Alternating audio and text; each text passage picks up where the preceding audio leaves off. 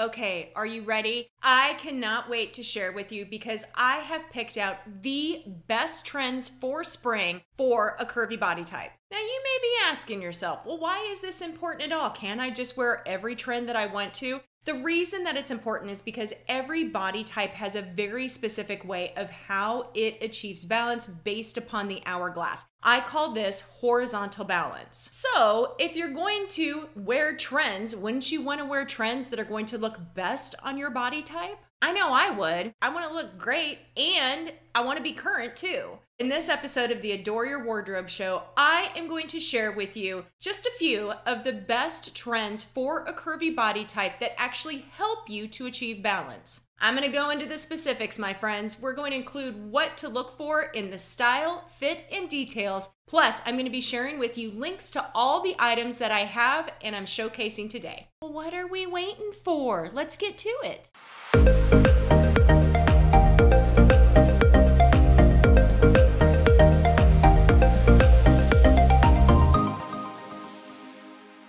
Everybody. It's Kelly Snyder from Adore Your Wardrobe. And if this is the first episode that you have ever seen, I just want to say welcome, welcome.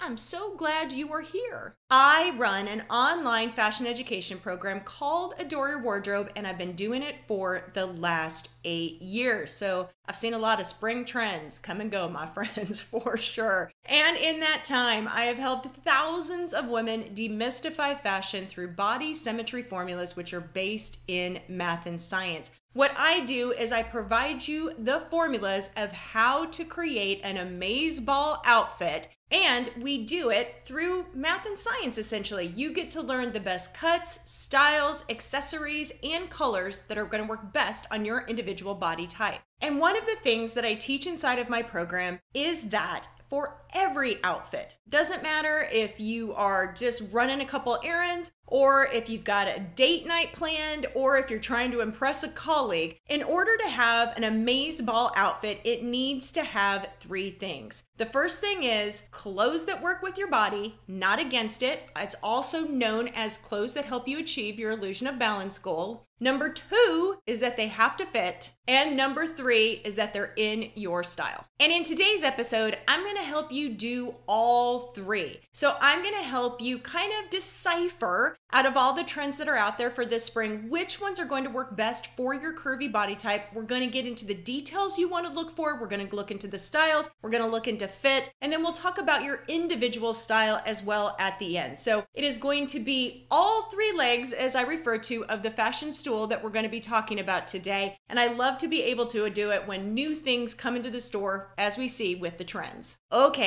but before I get started, if you haven't watched my past video, okay, my past video, it's right up over here, all right, which is called How to Dress a Curvy Body Type, I would encourage you to watch it now. Inside of that video, I break down how a curvy body type achieves horizontal balance. I know I've been saying the word horizontal balance a lot, but I actually teach you how your curvy body type achieves that horizontal balance based upon the standard that is the hourglass. Because most women do not have an hourglass naturally. No, they do not. We actually have to trick the eye into seeing that hourglass where there isn't one naturally, and we do that through the way that we dress. And inside of my program, I refer to this trickery, this trickery that we do with the eye, as a body type's illusion of balance goal. For a curvy, they have a perfect hourglass to begin with, but they need to make sure that they don't overfill or underfill any one part of their hourglass or they're going to look unbalanced. So, with that in mind, let's dive into my top three trends for you, my curvy girls. You're gonna be wanting to embrace these trends as you see them, but I'm gonna give you three great trends that you can instantly add into your wardrobe that are super easy to wear.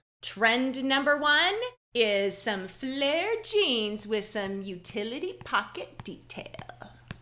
Yep, yep. Okay, let's start with denim. We always see new styles of denim, new trends of denim that come in in the fall and the springtime, and this year is no exception. So, I want to talk about these flare jeans, which I think are absolutely amazing for a curvy. So, the reason I love them for a curvy is the first thing is I think it's an easy to wear trend. Flares are trending right now. It's an easy thing to add into your wardrobe. It doesn't feel like it's kind of coming out of left field or super complex. And so it's an easy trend to add, which is always like, isn't that the way it's supposed to be? We're not having to overthink things too much. But the other reason I really love these jeans is I love the utility pocket in the front, and then I love the trouser hem at the hemline. So having those two details, both again, the utility pocket, which is right up against the waistband, and then going down to the trouser hem that is at the hemline, is just some extra visual interest that helps to keep the eye moving, which is what you want for a curvy. So the jeans that I'm showcasing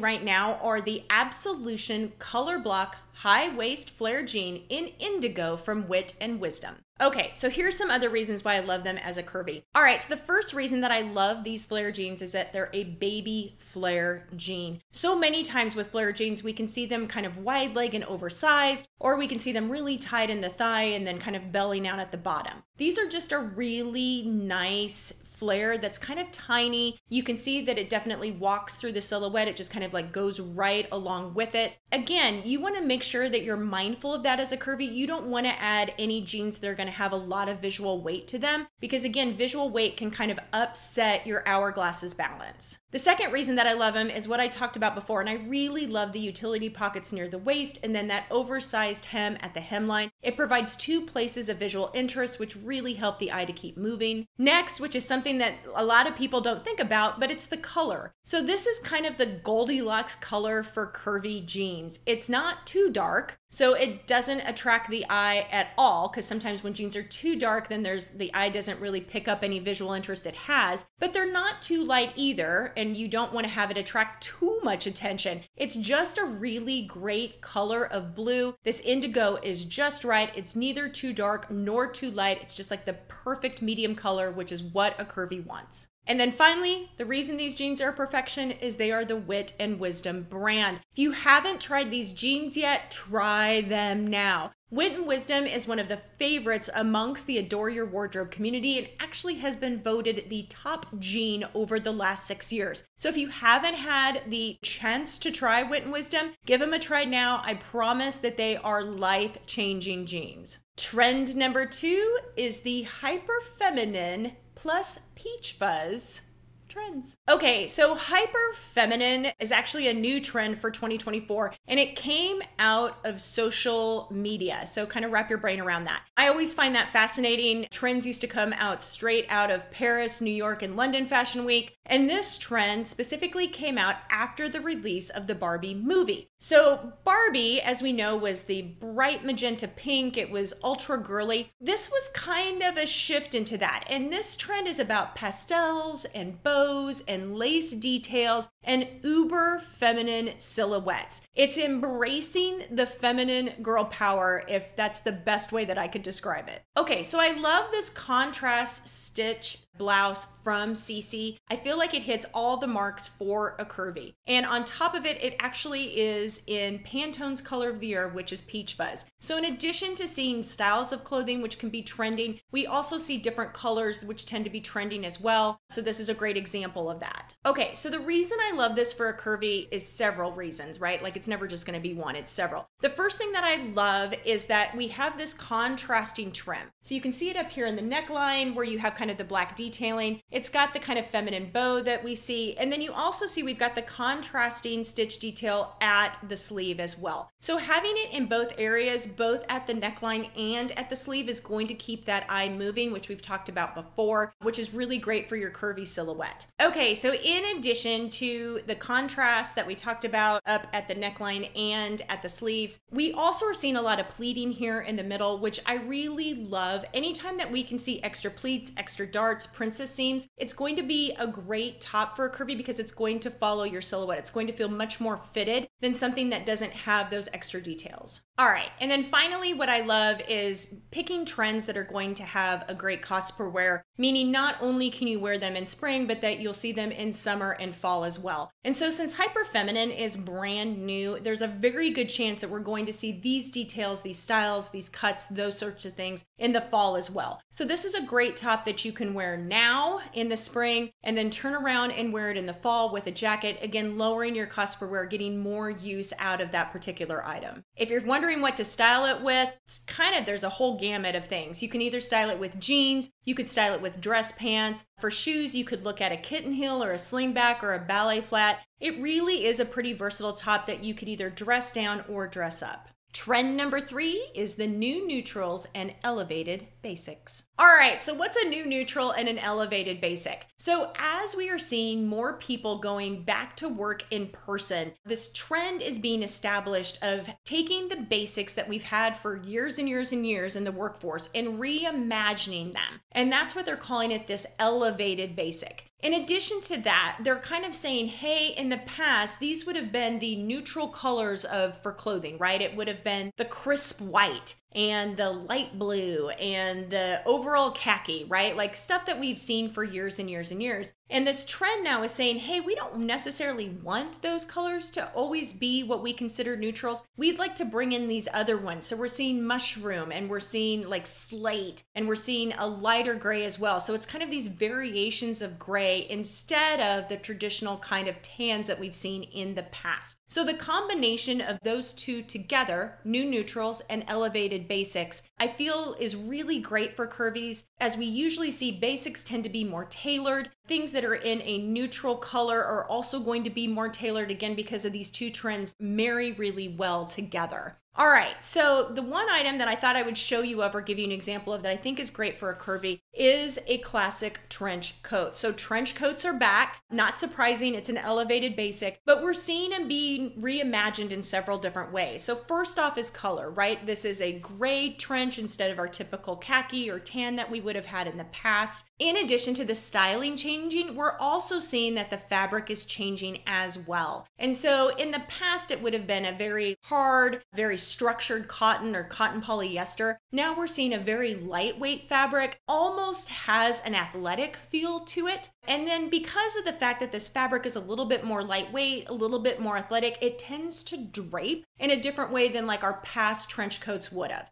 So, again, kind of having this reimagined look of kind of like we're going back to the office, we're looking for more classic looking, but at the same time, we want to have some of that athleisure component that has been so popular over the last years. Those are kind of what's making this elevated basic and the new neutral stand out. Okay, so that was a whole bunch of information about the trend. The reason that these trench coats work great for curvies is because you've got a tie belt which is going to be able to showcase your waist. The oversized collar and then the double breasted buttons are going to be able to keep the eye moving. And so it allows the eye to kind of bounce all around, allowing you to not overfill or underfill any one part of your hourglass and allows you to look balanced. So this particular jacket is going to be awesome. You're going to be able to wear it with dressy casual, business casual, regular casual, and athleisure. So it's just a really versatile jacket that's going to have some really great cost per wear and a great one to bring into your spring wardrobe. Okay, as I finish up, I feel like it's really important to talk about style versus trends. So at the beginning of this video, I talked about the perfect outfit being three equal parts. Clothes that work with your body, not against it, also known as clothes that help you achieve your particular body type's illusion of balance goal, that fit and that are in your style. But it can be tricky to know the difference between trends and style. And we get inundated with so much media, right? Like you get information that comes to you in the mail with catalogs. You see influencers and what they're posting. You may have friends, you may go shopping. There's just so much coming at you that it can be difficult to kind of interpret like well what's a trend and what is actually part of my style my intrinsic style? And one of the things that i teach my students is that in general trends are specific styles that become more or less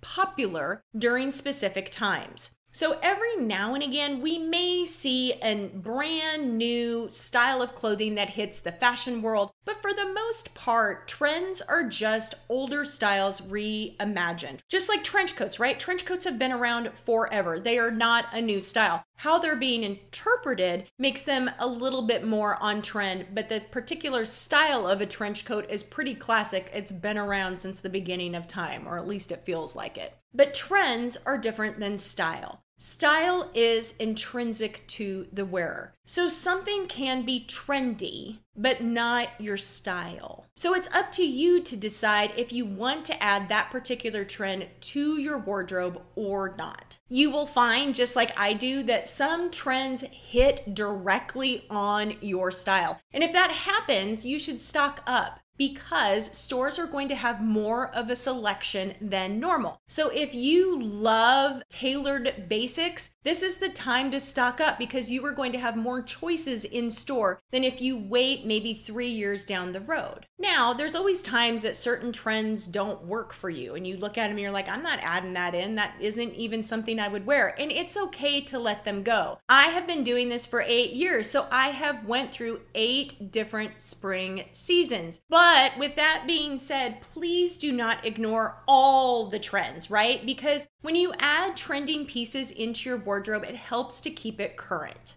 So, what's the right amount? How many should you do? What should you do? My advice that I tell my students is to add trends strategically. I always say number one, you want to add a trend that is part of your style. So, again, if it's something that relates to you, something that you like, then you know that you have a better than average chance of wearing it because it's something that gives you that kind of like mmm feeling when you wear it. And the next thing is to pick trends that are best for your body type. Why would we want to add clothes that don't put us into balance? We want to add clothes that are going to work best for our body, that make us look the best. So, in addition to again loving the trend, let's pick trends that actually are going to work for our individual body type. And then finally, I tell my students, you got to make sure that it fits your lifestyle. So many times we get wrapped up into buying something that doesn't necessarily work for the way that we live. I call it that we buy for our fantasy lives. And it's easy to do. We see images of people, you know, going to Paris, or we see images of people going out on dates, or we see images of them eating at some chic restaurant. And we're like, oh, well, I want to do that too. And then we buy that particular item, and then we don't really go to those places. So it ends up sitting in our closet. Again, you want to make sure that whatever you bring into every season, again, is a trend that you love, a trend that works with your body, and a trend that works with your lifestyle. And the other thing I'll say, try them out. Try them out. Sometimes you can try a new trend and it actually will be better than you think. You'll actually like it more than you thought. Style is all about you being able to show the outside world how you feel in the inside. And sometimes that takes a little bit of risk. The great thing is is you can try stuff on in store and if it doesn't work, you can put it back on the rack or if you buy online, you can return it.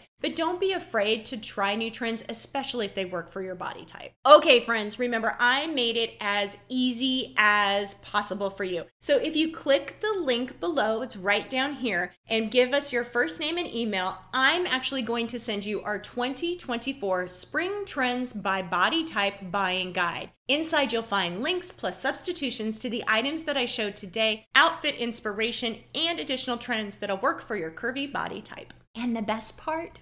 It's free. All right, thank you so much for joining me today. I really do appreciate it. I know trends can be hard to navigate, but they really are one of the fun parts of fashion. As long as you understand your body type and the best way of dressing it, you are guaranteed to have a wardrobe you adore. So be empowered, be confident in your purchases. Don't feel like you've got to bring in every trend into your wardrobe in order for it to be current. But again, don't be afraid of trends either. All right, my friends, have an amazing day. Take care, God bless, and I will see you next time when I have more fashion tips about dressing your individual body type. Bye, everybody. Have a good one.